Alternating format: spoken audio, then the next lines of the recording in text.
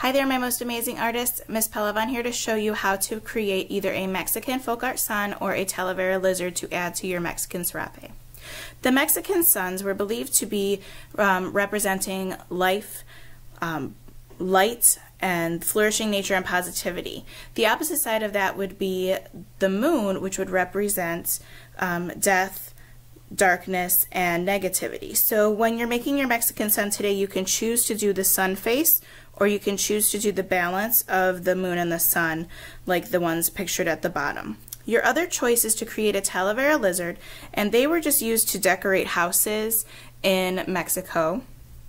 They were ceramic, which means they were created out of clay, and they were usually um, decorated with bright colors and patterns. So you're going to choose either to do the Mexican sun or the Talavera lizards. Both come from Mexico, so that's why I chose those as options, but you get to pick which one you'd like to work with. So first I'm going to show you how to draw the Mexican sun. So I'm going to move the lizards aside and we'll go back to that. So the Mexican sun, you're going to choose which one you like best. We're going to start with the circle, and you're going to notice that around the circle there's always these rays coming off of the sides, and there's different ways you can draw them. Kind of looks like a flower, but we're going to add a face onto the middle, and you're going to try to use warm colors if you can to make it look more like a sun. In the bottom two, you will see that the moon and the sun are balanced to create kind of a balance between life and death, positive and negative day and night. So you decide if you want to do the full sun or if you want to do the half moon and half sun. I'm just going to do a sun to show you the process of how to create it and then you will decide. So first you're going to start with a circle.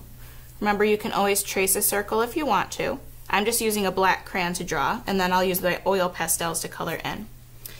Then I'm going to create some rays and your rays can be pointy, they can be rounded, but they cannot go off the paper, so you kind of have to plan.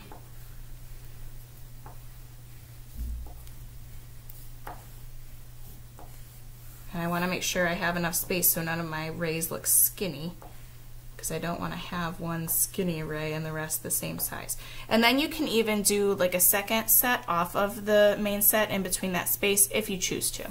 Now all of these suns have a face on them, so you're going to add a face to your sun using some facial features like big eyes, because remember the sun is full of life. And it can kind of be cartoony because the sun doesn't really have a face. This is the one time that you are allowed to make your sun a face. So then I have the nose here, and you can decide how to do your nose. And then I see eyebrows on most of them. See how they all have eyebrows in some way or another? Some of them are big. I think actually I'm going to make mine a little bit larger so I can color them in. And then I'm going to make the mouth, and the mouth looks pretty big too, so I want to make sure that it's large.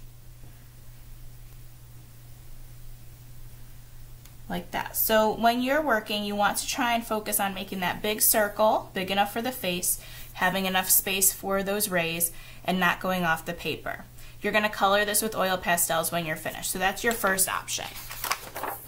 Your second option is to do the Talavera lizard. So I'm going to show you how to make that drawing right now.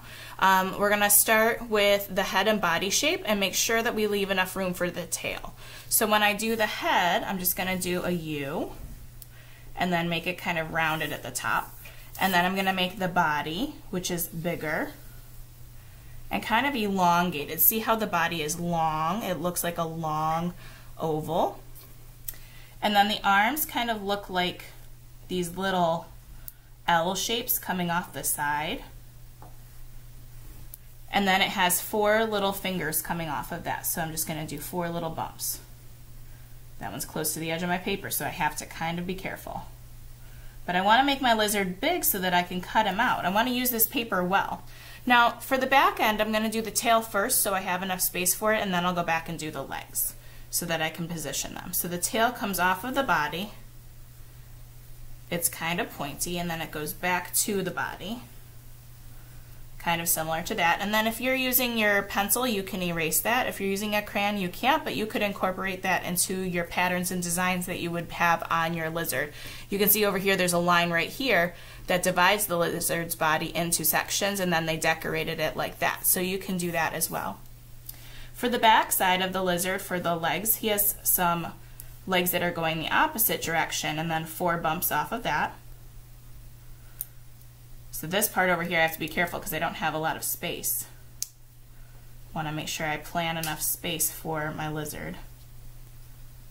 Just like that and then you will continue to um, make your lizard's eye. I see one eye on all of these lizards. You can see only side of their face. And then a lizard's eye, they have kind of a elongated pupil like that. And then you can add a smile. And then you can go on to decorate the body. So you can put flowers on it. I notice a lot of flowers. Um, I notice a lot of patterns. So you can decide how you want to decorate your lizard. It could just be something as simple as the flowers here on this one. So I'm just going to make some flowers on my lizard. And I notice some of the flowers are going off the side of my lizard too, so I can do like half a flower here. Kind of matches the shape of his toes in my opinion. And then some smaller flowers to fill up some space. And then this will be colored with oil pastels as well. And you want to try to use bright colors because they were traditionally very, very bright. So you can go ahead and get started. Remember, you have to choose to do one. You cannot do both. So your choice is either a sun or the lizard, and you're going to draw them and then color them with oil pastels.